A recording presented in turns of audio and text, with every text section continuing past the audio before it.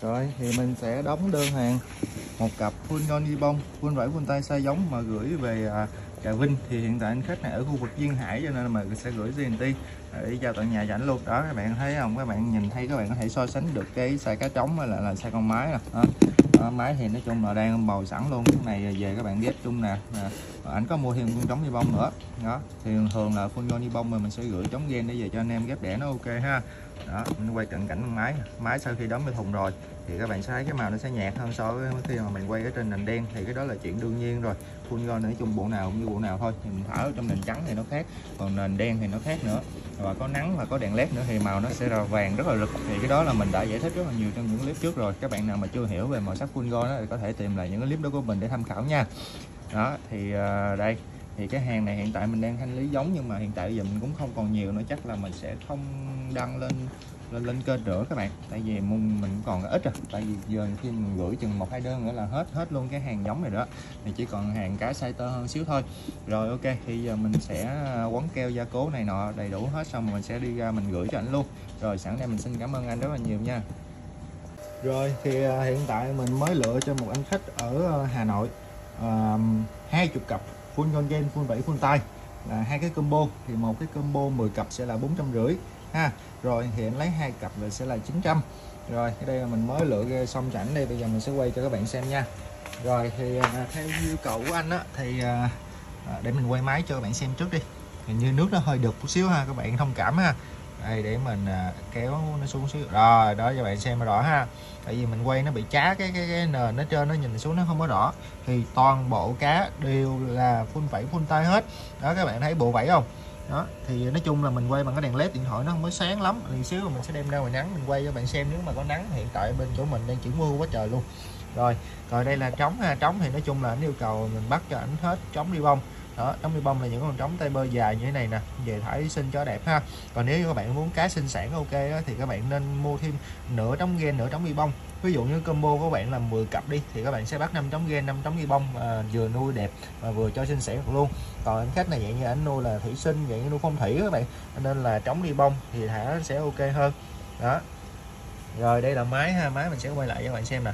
Rồi bây giờ mình sẽ đem ra ngoài nắng mình quay lại cho các bạn xem nha rồi các bạn đợi mình xíu để mình đem mình bưng nó ra ngoài nắng cái tại vì ờ, hai cái khay này một cái tay cầm điện thoại một tay một tay cầm cái khay này không được các bạn đợi xíu nha.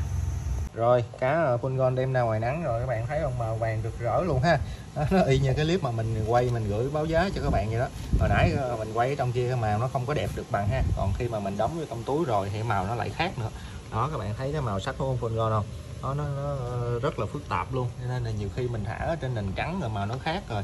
Mình thả ở trên nền đen thì màu nó khác mà có nắng thì màu khác mà không có nắng lại màu khác nữa. Nó rất là phức tạp rất khó chịu vụ đó.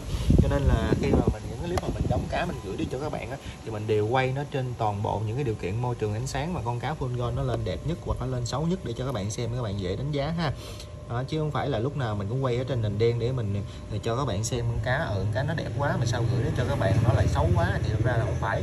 Thì điều kiện nào mình cũng phải quay để cho các bạn xem các bạn đánh giá nó thực tế hơn về cái màu sắc của con full gold chứ để nhiều nhiều bạn đó, kỳ vọng về cái màu sắc của nó quá nhiều còn khi mà mua về thì nó sẽ không được như ý muốn. Thì nói chung là các bạn cũng, cũng thất vọng. Thì mình cũng không có mình bán mình cũng không có vui. Khi mà ờ, các bạn nhận cá thì các bạn không đạt được như kỳ vọng thì mình nói chung là mình cũng không có vui chứ không phải là ừ cứ mình cứ lấy tiền các bạn rồi thì uh, xong hết trách nhiệm. Cái đó không phải. Đó thì mình có trách nhiệm mình sẽ giải thích với lại là mình sẽ cho các bạn xem điều kiện nó thực tế cái màu sắc của full nó như thế nào thì được thì các bạn mua còn không được thì thôi. Chứ không phải là dạng như là lúc nào cũng muốn quay cho con cá full gold nó lên đẹp nhất để mình bán mình giao cho các bạn rồi. Còn chuyện vấn đề khác thì thì, thì, thì mình không có trách nhiệm thì nó đó là không phải ha. Đó như hồi nãy giờ mình cũng quay cho các bạn xem hết trong điều kiện môi trường ánh sáng có có đèn và có nắng mặt trời và chơi trên nền đen ha. Rồi xíu là mình sẽ đóng hàng mình vô túi ni lông rồi mình sẽ quay tiếp cho các bạn xem để cho các bạn đánh giá thực tế hơn về cái màu sắc của nó nữa. Rồi xong. Hiện tại thì mình đã đóng xong 20 cặp full con gen full vải full tay và máy gen thì chống đi bông. Đó thì à, bây giờ mình sẽ quay lại cho các bạn xem à cá mà sau khi mà đóng vô trong túi rồi và sau đó bỏ vô thùng rồi thì cái màu sắc nó sẽ như thế nào nha đó thì uh, nói chung là màu sắc full gold đó khi mà mình quay mình gửi cái cho các bạn và cũng như là mình đăng công khai ở trên uh, YouTube và TikTok của mình đó là mình đều quay uh, full gold trong tất cả những điều kiện môi trường ánh sáng để cho các bạn xem à các bạn đánh giá được khi mà mình thả nó mình nuôi ở trong cái hồ như thế nào thì nó sẽ trông như thế nào và khi mà mình thả nó vô cái hồ màu tối thì nó sẽ trông như thế nào và có đèn sẽ như thế nào và không đèn nó sẽ như thế nào và có nắng mặt trời và không có nắng mặt trời nó sẽ như thế nào mình quay tất tần tật luôn. Thì các bạn có theo dõi mình lâu rồi á thì mình à, thì các bạn cũng đã biết rồi cái cách mà mình uh, soạn cá mình đóng hèm gửi cho khách á, là mình không có bỏ qua công đoạn nào trơn là khi mà con cá khi nào mà con cá đẹp nhất mà khi nào con cá xấu nhất thì mình đều quay luôn để cho các bạn xem các bạn dễ đánh giá ha. Rồi thì hiện tại là cá mình đóng vô túi xong rồi thì vô trong thùng xốp màu trắng nè. Đó thì các bạn thấy cái màu nó so với cái màu nãy lúc một trời một vực luôn ha. Đó nó hoàn toàn khác xa nhau. Rồi bây giờ mình sẽ đem ra mình quay cho các bạn xem đem ra ngoài luôn đó thì ờ, ở những đơn mà đi xa xa như thế này là mình đóng bịch đôi cho các bạn luôn. À, để cho nó đảm bảo nó chắc chắn hơn. Thì ờ, đóng bịch đôi như thế này thì bao quăng hàng luôn bao chọi hàng luôn nó cũng không có không có bể bịch được các bạn. Đó. tại vì bịch này là bịch chuyên dụng đóng cá mà. Rồi ok rồi đây sẽ quay cho bạn xem lại lần nữa ha. Thì do bịch lớn với lại là bên mình là đóng hàng đó, là có oxy trong trong trong túi đầy đủ luôn cho nên là cái tình trạng mà à, cá thiếu oxy thì sẽ không bao giờ xảy ra ha. Đó. Đây là trống đi bông nè trống đi bông nè. Đây là máy gen máy gen. À, tất cả máy đều full vải full tay hết ha. Đây các bạn xem. Rồi trống đi bông rồi. Ok, thì đây là hai chục cặp mình sẽ gửi về Hà Nội cho anh đây. Thì trên thùng shop này, nói chung là mình đóng cá, mình cố gắng mình kỹ nhất có thể để gửi đến cho các bạn những con cá mà nó được khỏe, nó ok nhất ha. Rồi, thì giờ mình sẽ đóng thùng, mình gia cố băng keo, mình cấp ẩm cho thùng shop rồi mình sẽ đóng hàng mình gửi đi. Rồi, sẵn đây mình xin cảm ơn anh rất là nhiều luôn đã ủng hộ mình cái đơn này và cũng cảm ơn tất cả các bạn đã dành thời gian theo dõi cái clip này của mình nha. Rồi, bye bye tất cả các bạn.